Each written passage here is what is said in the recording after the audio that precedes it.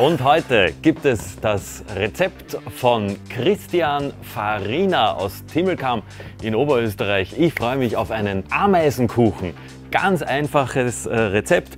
Butter, Mehl, Eier, ein bisschen Eierlikör, Vanillezucker, Backpulver und äh, quasi was den Ameisenkuchen zum Ameisenkuchen macht, sind die Schokostreuseln, die dann beim Anschnitt ausschauen wie kleine Ameisen, die durch den Kuchen flitzen.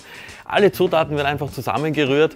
Rohr ist schon vorgeheizt auf 180 Grad, kommt dann in eine Auflaufform oder Kugelhupfform. Ich nehme eine Auflaufform, damit wir schöne Schnitten runterschneiden können. Jetzt mal Butter mit äh, den Eiern schaumig rühren. Prise Salz dazu. Jetzt rühren wir schon mal die Butter mit den Eiern schaumig. Zucker kommt noch gleich dazu.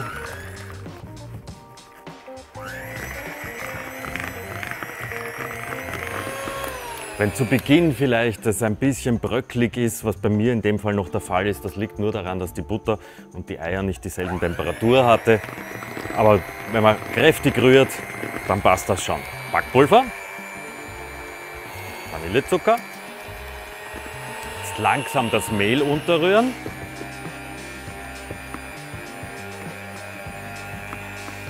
Sieht man schon, Masse wird richtig schön flaumig. Und jetzt steht im Rezept mit Eierlikör ein bisschen aufpeppen. Wirklich ein schneller, einfacher Kuchen, der aber im Anschnitt dann echt süß ausschaut. Und jetzt langsam, peu à peu, die Schokostreuseln unterheben. Jetzt habe ich mir, mir die Auflaufform gut ausgebuttert. Da wird jetzt die Masse eingefüllt. Vielleicht wird er nicht ganz so hoch, weil meine Form hier ein bisschen groß ist. Aber er geht ja doch noch deutlich auf. So. Schön einfüllen. Und jetzt ab damit ins Rohr für circa eine Dreiviertelstunde.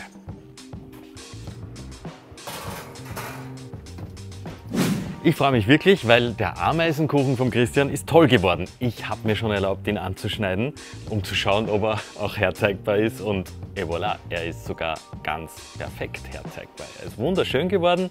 Schneiden wir schöne dicke Scheiben runter. Schön dazwischen mit den Punkteln, den Schokostreuseln, die dem Ameisenkuchen seinen Namen geben. Und wirklich ein super einfacher Kuchen.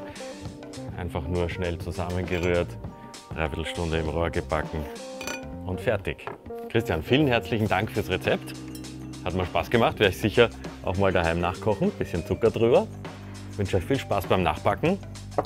Drüber gibt es noch einen Schuss Eierlikör. Und für die Farbe ein bisschen ein Beerenlikör, in dem Fall ist das Cassis. Espresso dazu oder einen Nachmittagstee, Kaffee und Kuchen mit der Family. Mmh, viel Spaß beim Nachbacken Mahlzeit. Lasst es euch schmecken.